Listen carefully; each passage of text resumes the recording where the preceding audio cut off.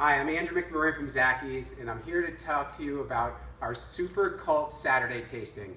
Now, as you've seen over the last couple weekends, we've been flexing our muscles and showing what Zachys is capable of.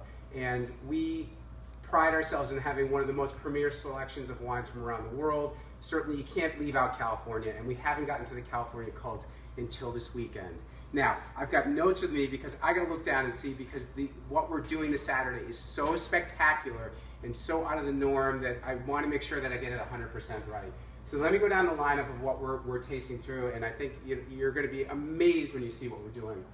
We're gonna be starting out with three different white wines, you know, from crisp and refreshing uh, Napa Sauvignon Blanc from, from 2880 we want to we want to build you up. We want to get you progressed into so you can see from stages and levels just how great this all is that we're going to be tasting. We're going to be working our way up to the wines of Paul Lato. Uh, Paul is people refer to him as the uh, the American dream in California winemaking. Was a self-trained uh, sommelier. Went out to the Central Coast, uh, met Robert Parker early on in his career, and is arguably making some of the finest Chards and Pinots from the Central Coast. Then after that, we're going to work our way up to, to Gandona, uh, which is a very exciting spot right up on Pritchard Hill. 80-year-old terrace vines. Uh, Pritchard Hill is one of the most coveted kind of sweet spots uh, in California, in Napa Valley today. This is going to be 2012 vintage. There's the magic number. That's the key to it. Now, moving on to Colgin. Do, does, do I need any more explanation for Colgin? Colgin is one of the most collectible wines in the marketplace today. It's coveted. It's sold at auction. It goes for anywhere from past vintages from, from 500 to $1,000 a bottle. Here we are, we're gonna be pouring it at Zachys. Where else you can be able to walk into a store and taste Colgin, okay? Colgin. Keep going up the line, it's gonna keep getting better. Then we move on to Dalla Valle. Delaval is, you know, sits high above the, um, the Silverado Trail, one of the first California cult Cabernets. I remember selling this when I first started at Zachys 20 years ago and believe it or not, it only sold the Napa Valley capsule for about $50 a bottle.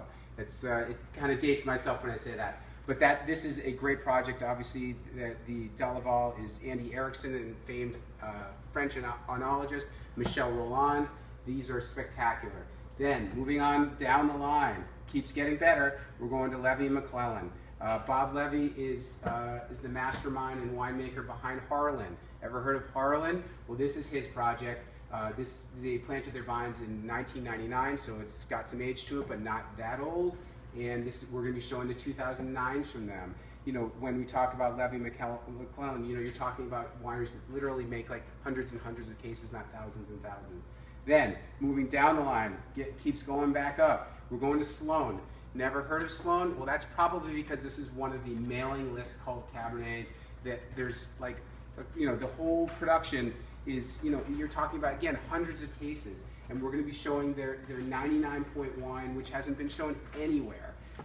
Then, piece de resistance. Ever heard of Screaming Eagle? Screaming Eagle is probably one of the most famous and most renowned, uh, you know, California cult Cabernets. And you don't see it because it's mailing list only. There's only a couple hundred cases. It's just not out there. Now we're going to be showing the second flight, which is their Merlot dominated project. It's relatively new for them. It's very exciting. Like I said, I dare you to find another store in America where you have an opportunity to taste this wine. Then, then once you've been dared to that, look at the collection of these wines. Saturday, November 14th, you want to be in the store. I don't know if we'll ever be able to do this again. This is going to be the California Cult Cabernet tasting to be at. We hope to see you here.